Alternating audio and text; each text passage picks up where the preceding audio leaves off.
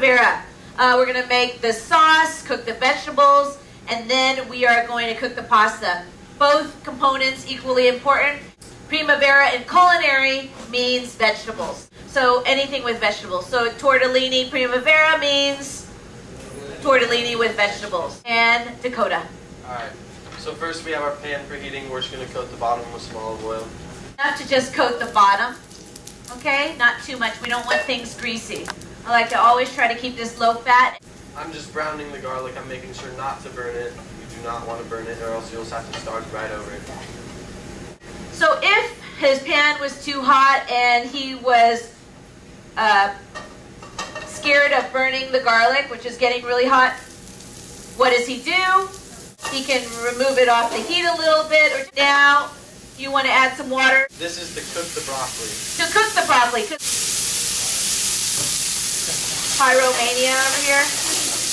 And we're going to steam the broccoli. How can you steam the broccoli? You need a lid. There's no way you can cook that broccoli just high heat and the broccoli's just sitting there. Okay? That broccoli is so dense. All right? The worst thing is uh, burnt garlic and raw broccoli in this dish. How do we know if the broccoli's done? By looks? With a fork? How do we know it's really done? Taste it. Absolutely, absolutely. And uh, someone was really generous and gave us exactly uh, six pieces of broccoli. Wow, woohoo! thanks, thanks. What are you doing now? Uh, adding the rest of the stuff. It's Okay. the yellow bell peppers, carrots, and Let's zucchini. do it. We want our vegetables and our pasta to be al dente, to the tooth. That doesn't mean anything to you, does it? No, it doesn't. Al dente, have you heard of that before? What does it mean? What does it mean? Literal translation? To the tooth. To the tooth. Not hard and crunchy, not so soft, but right in the middle. You want that perfect midpoint. And that perfect midpoint is described as giving a slight resistance when you bite down. Just a slight resistance. A hard resistance is crunch. No resistance is, is there anything there? Nothing.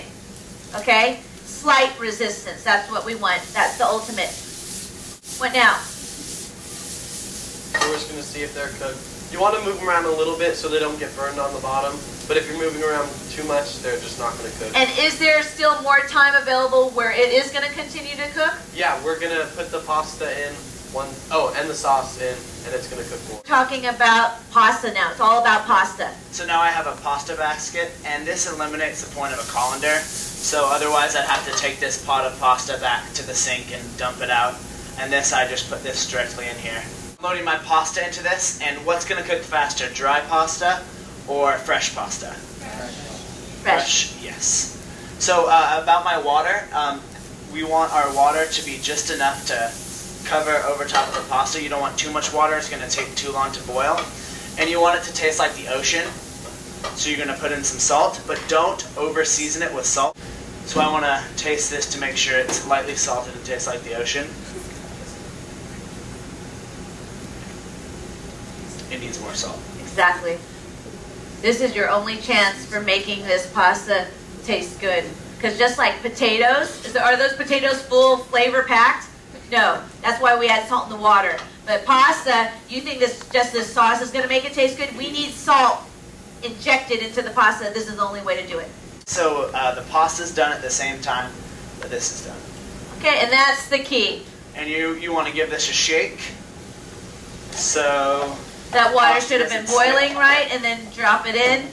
Right before you add this sauce, you're going to tell the pasta person at the stove, drop that pasta. I want the sauce and the pasta ready at the same time. You'll know by the color of your sauce. I've seen some sauces today that almost look black. It's not burnt. It is just reduced so much. The color even gets darker and more condensed. If this sauce was reduced so much, what could you do on the fly? And this restaurant term. When I say on the fly, what does that mean? On the fly. Right now. Not not five minutes from now. Right now. I need it on the fly. Well, how can you fix it on the fly right now? Add some water. And the water is conveniently located right here. And guess what? It's not just plain old tap water. It's not cold. so it doesn't bring down the temperature. It is nice and hot, and plus it's flavored. It is flavorful with some salt. So how perfect. So if I wanted, and what you should do too, and if I don't even have, I don't even need a ladle. If I needed a little, and this could probably go for just a little bit more moisture, I could just go like this. Look. Look at that. Efficient, people. And they're looking for al dente. Um, Sam, any more points regarding um, the Um, pasta? Yeah, you saw me mixing it up with the tongs um, because uh, a lot of the pasta will get all clumped together. And pasta is very dainty and tender, so you don't want to pinch it, or it's just gonna like stick to each other even more and just fall apart. That's one of the worst uh, pasta dishes I've seen in here is when one person just took the tongs and just like shredding it all up. There's little kibbles and bits of pasta. The pasta ends up to be this big and all our hard work ruined. Not exactly fettuccine, I would say shredded chini, because they just mess it up. It's just no respect. It's abusive to the food. And um, yeah. Okay, so at this point, I want to taste this sauce because I have this last chance to fix it.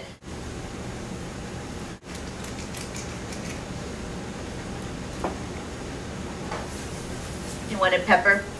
Otherwise, it's not bad. Um, people ha- have been needing to add salt, add sugar, add pepper. Want that good sauce stuck to the pasta so every bite's a delight, right, my friends? Those of you who can't saute toss, then you will fold gently with the tongs. And still, we need to season at this point, if necessary. Because now with the pasta added in, it, it changes the flavor. And they end up doing really poorly on the practical because they ran out of time and they never had a chance to taste this before they presented it to me for judging. I didn't have time. Well, that goes back to efficiency. Okay? You want to make sure you have plenty of time to taste and adjust seasoning. It'd be great if you had a lot of time. Taste, hmm, ponder about it, adjust, and you're not rushed. You'll see other people are just like scramming for time. That's really, really good. Nothing like fresh pasta. I'm going to make two presentations. One um, that you should do and one that you shouldn't do. A lot of people eat with their eyes. They prejudge your food because of how it looks on the plate.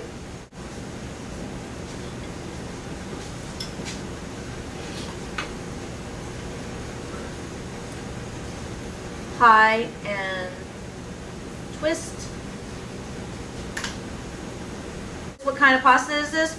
Fettuccine? Fettuccine what? Primavera. I want to show them that um, they're going to get one piece of broccoli. Who generous. I would be pissed.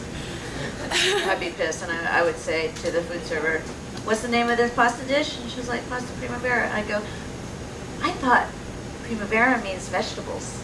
There's like exactly one piece of broccoli in here. And she'll be like, oh, I'm so sorry. I'll get you more broccoli. I'm like, thank you. People like to flatten things out. That makes it look real nice. Makes it look like more, huh? Oh yeah. I want that. That stuff. Garnish. Let it flow.